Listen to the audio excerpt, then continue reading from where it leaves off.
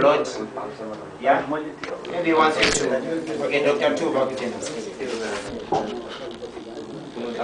What, excuse me, for the second one, we should start again, or should we just do it the same? The second, Come again. Ju- just change.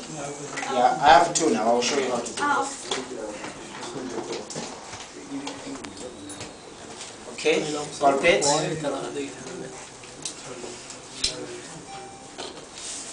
Apply the tourniquet. Just apply, don't tighten. Wear the gloves. Wear the gloves, good. Open the white one. Don't remove the green. The green has got a needle. So the white one. Clinical spin. Load. Put it there, load. It's ready. And I'll go still. Just tear it and it will remain there.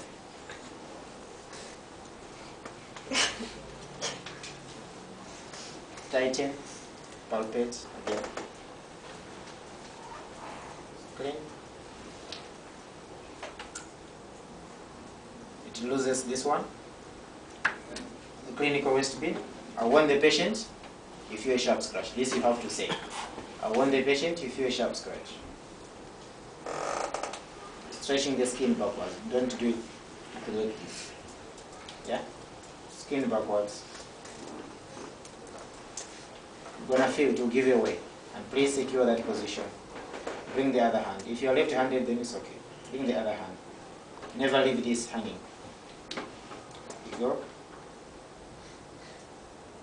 Okay. It is full. Put there. Take another one.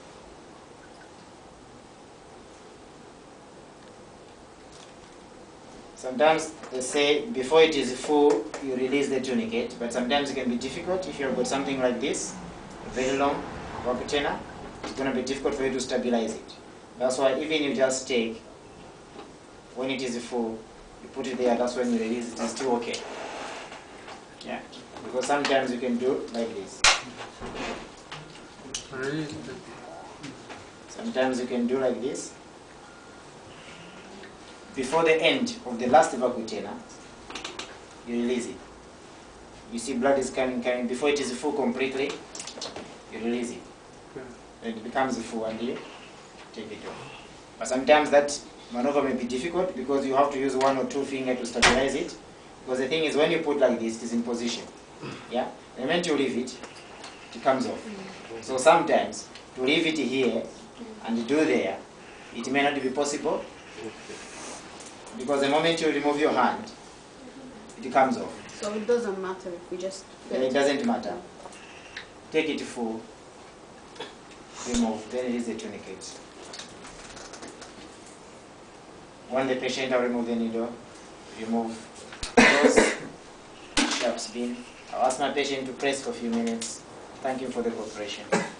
Task finished. Any question?